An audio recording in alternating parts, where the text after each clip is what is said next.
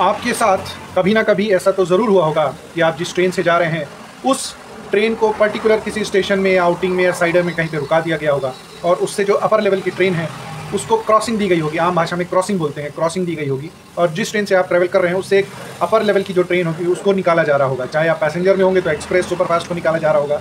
आप जनशताब्दी में होंगे तो शताब्दी को निकाला जा रहा होगा या फिर राजधानी को निकाला जा रहा होगा। और एट प्रेजेंट सभी ट्रेनों को रोक के या उनको थोड़ा आगे पीछे करके वंदे भारत को टॉप प्रियोरिटी में रखा जाता है।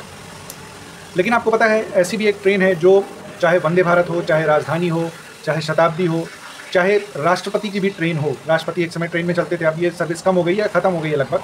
तो वो भी अगर ट्रेन में चल रहे हो तो उनकी भी ट्रेन रोक दी जाती है और ऐसी ट्रेन निकाली जाती है जिसके सामने सब ट्रेन को रोका जाता है, चाहे वो कितनी भी वीआईपी या वीवीआईपी ट्रेन हो, उसको भी रोक के इस ट्रेन को निकाला जाता है। मैं बात कर रहा हूँ एक्सीडेंट रिलीफ ट्रेन की, जिसको किसी एक्सीडेंट, दुर्घटना के समय या फिर कैलमिटीज़ या फिर कोई आपदा आ गई हो, वहाँ पे भेजा जाता है और ये हाई प्रियोरिटी ट्रेन होती है, जिसके लिए बाकी सभी ट्रेनों को रोक दिया जाता है, सभी ट्रेन रुक जाती हैं और इसको क्लियर सिग्नल मिलता है आगे कई स्टेशन तक और वहाँ तक, जहाँ तक इसको जाना है वहाँ तक।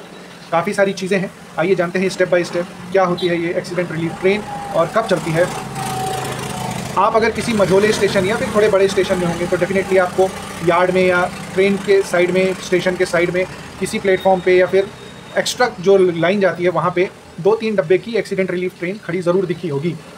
और एग्जैक्टली exactly जब कहीं कोई दिक्कत आती है या फिर कोई कैलमिटीज़ होती है, आपदा आती है तो इस ट्रेन को निकाला जाता है, इस ट्रेन को यूज़ में लिया जाता है। और ये ट्रेन दिन में सिर्फ़ और सिर्फ़ आधे घंटे में और रात में सिर्फ़ सिर्फ़ 45 मिनट पे चलती है ये ट्रेन इतनी इमरजेंसी सर्विस इसकी रहती है।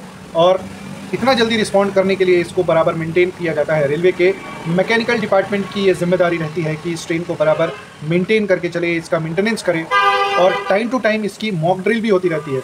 भगवान ना करे ऐसा हो, लेकिन लंबे समय तक जब कहीं वो ट्रेन पर्टिकुलर ट्रेन खड़ी होती है, उसका यूज़ नहीं होता। मतलब कहीं एक्सीडेंट नहीं होता या फिर कहीं आपदा नहीं आती, वहाँ नहीं जाती। तो इसकी बाकायदा मॉक ड्रिलिंग भी होती है और मॉक ड्रिलिंग का जो ड्यूरेशन है वो लगभग तीन महीने का होता है। तो इस ट्रेन को इस लेवल पे मेंटेन किया जाता है और हो भी क्यों ना, ये अल्टीमेटली उन लोगों के लिए है जिनको बेहद ज़रूरत है। वो अपनी ज़िंदगी और मौत से लड़ रहे होते हैं, ये उनके लिए रिलीफ लेके जाती है ट्रेन डॉक्टर प्लस स्टाफ इसमें जाता है जब ये कहीं भी जाती है ज़रूरत पड़ने पर इस ट्रेन में टोटल पाँच प्लस दो डिब्बे होते हैं। बेसिकली जब ये जाती है कहीं काम पे तो इस पर पाँच प्लस दो डिब्बे जाते हैं और कहीं कोई बड़ा होता है तो इस पर क्रेन वगैरह भी अटैच की जाती हैं। लेकिन यूजली जो है पाँच प्लस दो डिब्बे जाते हैं। तो उनमें जो पहला डिब्बा होता है, वो होता है मैकेनिकल टूल का। मैकेनिकल टूल वेन कहते हैं उसको।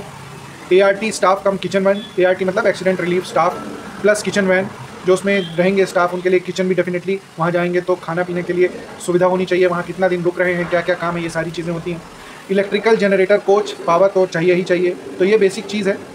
किचन पावर जनरेटर कार कहाँ से आएगा? उसके लिए जनरेटर चाहिए रहता है। इलेक्ट्रिकल जनरेटर कोच होते हैं और उनको बाकायदा इलेक्ट्रिकल वायर वगैरह से ही मिल जाता है। O H E material coach O material coach होती है। फिर मिसलेनियस टूल्स मेन होती है, जिसमें कई प्रकार के टूल्स होते हैं आगे अपन देख लेंगे। उसके बाद बी आर एन वैगन होता है और एक बी सी एम वैगन होता है। तो ये फाइव प्लस टू कोच इसमें एसेंशियल होते हैं। और उसके बाद इसमें लगभग 20 प्रकार की इक्विपमेंट्स होती हैं, जो एसेंशियल्स होती हैं, वो जाती हैं। आइए जान लेते हैं कौन कौन से होते हैं। वो हैं एच आर ई सेट्स मतलब hydraulic rotation rolling equipment hydraulic rolling equipment ये समथिंग रिलेटेड टू हाइड्रोलिक्स है, जो डेफिनेटली कोर टेक्निकल चीज़ होती है। Plasma cutting equipment gas cutting equipment air compressor with bag fire extinguishers different types के wood packaging कहीं पे लकड़ी की ज़रूरत हो तो डिफरेंट टाइप के वुड पैकेजिंग होते हैं, वो फंसाने के लिए, लगाने के लिए मेंटेनेंस पार्ट है।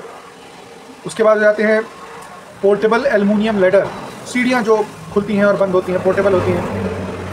टेंट, जो मोटे कपड़े के या फिर उनके स्पेशलाइज कपड़े के जो टेंट होते हैं, वो होते हैं S C B A self containing breathable equipment कहीं ऐसी जगह जाना पड़ा, कहीं पानी है या फिर कहीं पे गैस वगैरह की दिक्कत है तो वहाँ पे मास्क वगैरह लगा के ऑक्सीजन वगैरह लगा के, उस टाइप का कुछ इक्विपमेंट्स होता है।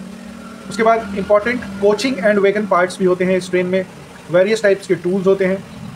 व्हील्स होते हैं। कहीं ऐसा हो जाए कि भाई चक्कों की ज़रूरत हो तो व्हील्स भी होते हैं।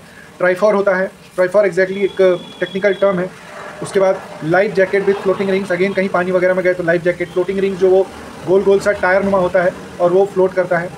ट्रैक मेजरिंग टूल्स कहीं कहीं पे ट्रैक वगैरह का डैमेज होता है तो उसको मेजर करने का मेंटेनेंस करने के tools video camera and still camera definitely इसमें बाहर अंदर सब जगह कैमरा लगे होते हैं और वीडियो कैमराज भी लगे होते हैं, जिससे आप वीडियो बना के हेल्प मंगा सकते हो या फिर एग्जैक्ट सिचुएशन किसी से पूछना है, यहाँ पे क्या कर सकते हैं, क्या नहीं, ये सारी चीज़ें वॉकी टॉकी सेट्स होते हैं। डेफिनेटली अब कोई उस डब्बे में है, कोई दूर में है तो उससे बात करने के लिए बार बार फ़ोन या इस सब वहाँ पे नेटवर्क है या नहीं है तो in that situation walkie talkie काम आता है। And re rolling rams RAM वगैरह होते हैं जो पहले से बने हुए होते हैं साइज़ के, वो डेफिनेटली मेंटेनेंस में काम आते हैं। तो ये सारी चीज़ें एआरटी में होती हैं एक्सीडेंट रिलीफ ट्रेन में। और ये ट्रेन लगभग हर बड़े स्टेशन या फिर हर दो तीन सौ किलोमीटर एक क्राइटेरिया होता है, वहाँ पे खड़ी होती हैं और मेंटेन रहती हैं। और जैसे ही कहीं इनकी ज़रूरत होती है, वैसे ही इनको मूव कर दिया जाता है। जंक्शंस वगैरह में भी होती हैं, बड़ा जंक्शन हुआ तो वहाँ तो होती होती हैं। छोटे जंक्शन में भी होती हैं, अगर वहाँ पर ज़रूरत होती है। स्टेशनों में होती है और ओवरऑल ये सबसे इंपॉर्टेंट हाई प्रियोरिटी ट्रेन हो जाती है, जिसके लिए लगभग सभी ट्रेनों को रोक दिया जाता है just to deliver help in the emergency service तो ये था सारा कुछ एक्सीडेंट रिलीफ ट्रेन का। अगर आप इस वीडियो को फेसबुक में देख रहे हैं तो पेज को लाइक ज़रूर कीजिएगा और यूट्यूब पे देख रहे हैं तो सब्सक्राइब ज़रूर कीजिएगा और कमेंट करके बताइएगा ये वीडियो आपको कैसा लगा।